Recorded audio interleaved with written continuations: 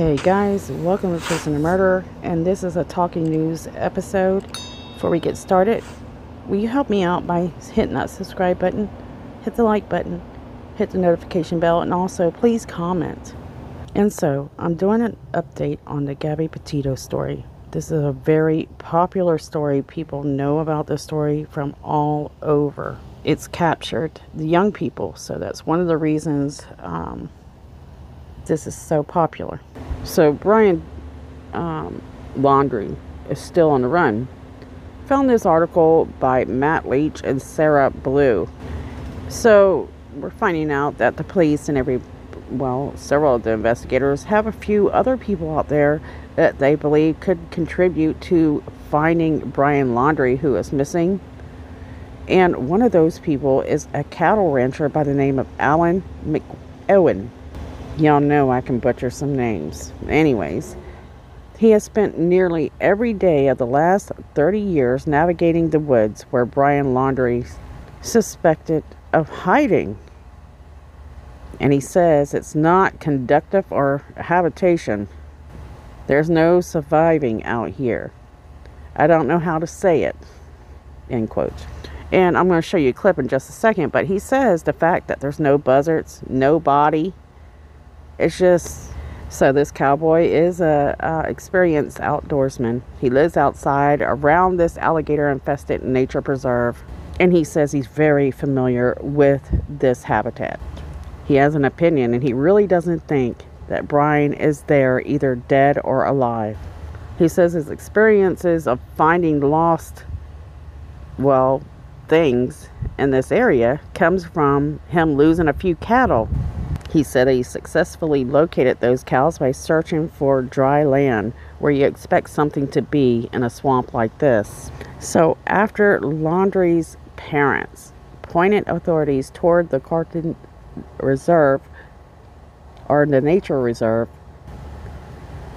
supposedly, guys, parents say that Brian drove his Mustang to this area.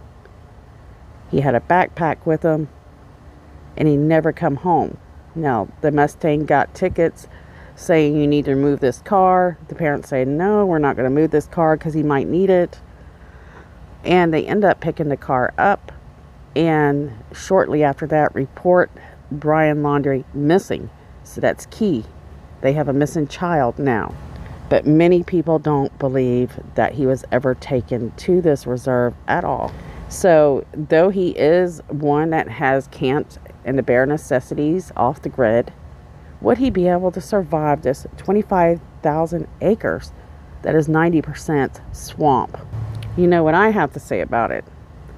If you suspect that Brian is lying about, or sorry, Brian's parents are lying about dropping him off because we know they went camping before this. We know they were hanging out and talking a lot.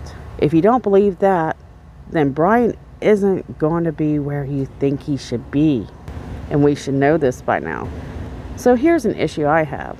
The fact that the parents seem to be very calm and collected and living their life, mowing the grass, you know, going places and returning it back home, just living this normal lifestyle, it says to me that most likely there's nothing worrying them. So therefore, probably their son is fine. That's what they know. And so, you know, that explains the odd behavior. That's me speculating because we don't know what the parents know. Maybe they don't know where Brian is and they're just able to handle it well. I have to agree that the swamp would be difficult to be there for a long period of time. If you've ever watched Naked and Afraid, people that had to live in the swamp you know how difficult it can be between the bugs and the fact that you can't start fires. That's the most important thing. There's tons of things to eat there. You have frogs, you have gators, you have fish. There's tons of creatures in the surroundings. But you cannot eat them if you cannot cook them. So you risk getting sick if you do. So at this point, where he's been gone this long, he has to have eat. He has to drink water. I believe he has a phone to charge. So, what are the water sources? What are the food sources that would be around in the background from his house, moving north or south, or at least more importantly, where was the place that they camped last? So we know right now Brian Laundrie, he has a warrant for his arrest for credit fraud, which means he can get around 15 years in jail and a $25,000 fine. That isn't a tap on a hand. So I got that information from a few people who understand the laws in that area. So, what's the big deal with the warrant and how did it come to be? So, the fact is more likely than not that they're able to determine the time of death of Gabby since they were able to determine that it was caused by homicide. Then match those dates to the days that he used her credit cards based off the receipts or wherever they get their information, bank statements, let's say, which will say more than likely um, he was using those credit cards, her money, without her and, or her permission because she wasn't here. So it's been nearly, well, just about over a week of searching for Brian in his reserve with no luck. What did this entail? Well, it meant zoning um, many of these areas where Laundrie was likely to enter. It was a small search, but in this case, it could mean more clues.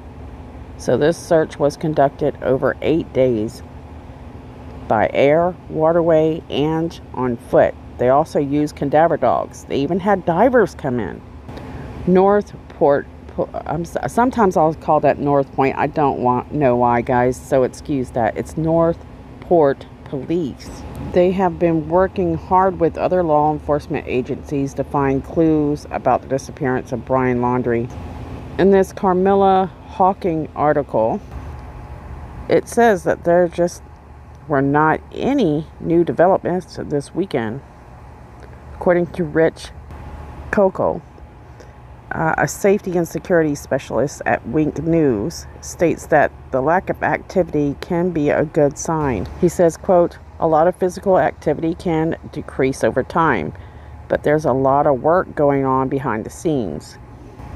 There are agents who write subpoenas and monitor, build that timeline, everything to do. End quotes. So it's to be expected that the FBI says there are no comments on whether there are any new developments. The FBI returns to the Laundrie house actually just yesterday, collecting DNA from Brian's parents, which I did a video on yesterday. And what could this mean? Well, most likely they're wanting to attach some evidence that they have already to someone or suspect or person of interest. DNA is also used to identify um, a lot of cold cases, uh, deceased persons, but we know that Gabby's already been identified. Could it be identification for Brian? Possibility, but most likely not, not certain. So, the last thing police investigators are going to do is give us updates of where they think Brian is or where he's going or if they even found clues as to where he is. So, right now, we have a lot of money going in for reward for anyone that's able to tell them where Brian's at. Law firms are throwing in like $20,000. Other people just throwing money in here and there. Remember, the bounty hunter, well, Dog, the bounty hunter, showed up at Laundrie's parents' house. A lot of people are thinking that he did this just to put his face in the spotlight. He really hasn't shown where he's been looking for Brian, so who knows what's really going on with that. But that's been in the news quite a lot lately. Hopefully, he does, he's able to help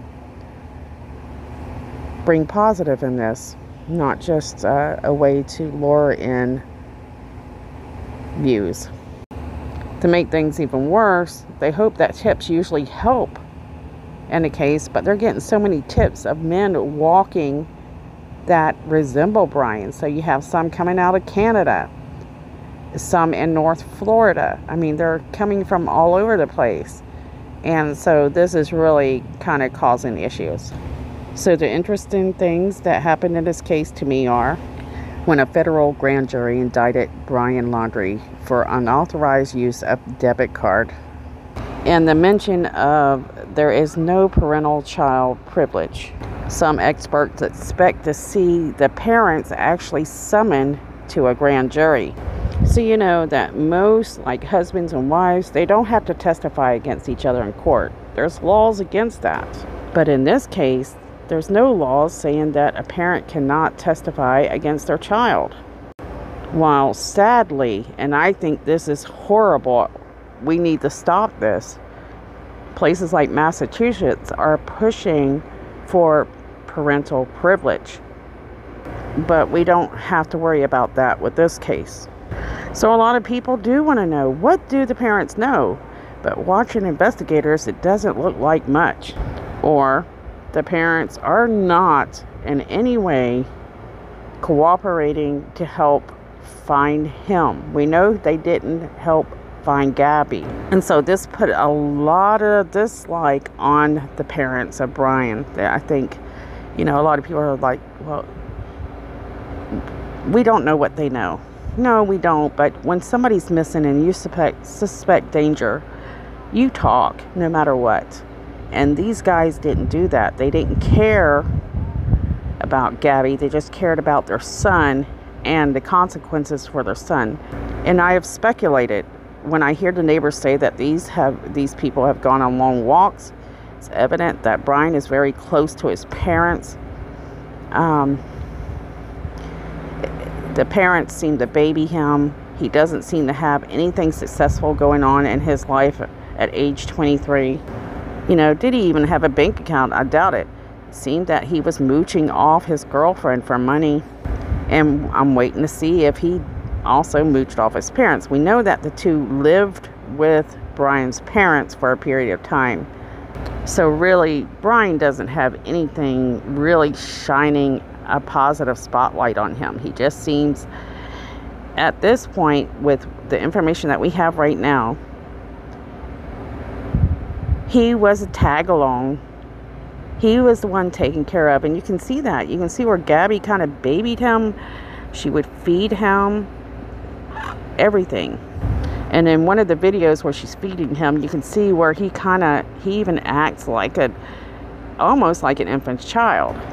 We know that Gabby also um, had a lot of complaints about his ability to organize and to keep things clean. This is actually something that pushed for one of the arguments on August 12th, where they were pulled over and police talked with the couple, discovering that they had gotten a little bit um, physical in that altercation.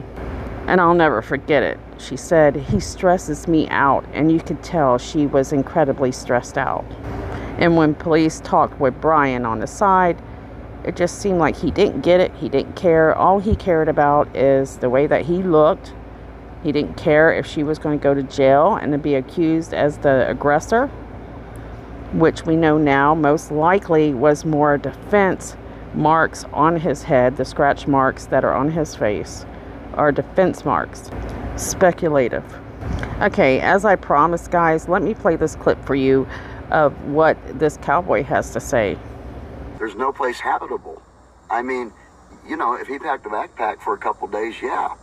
But, you know, unless he's got hide like a gator, there's no, and nobody's going to survive with the mosquitoes and the bugs and this and that. And then we have the theory of people saying, oh, the gators have eaten him or something like that. You know, again, gators out here when are more afraid of you than you are of them.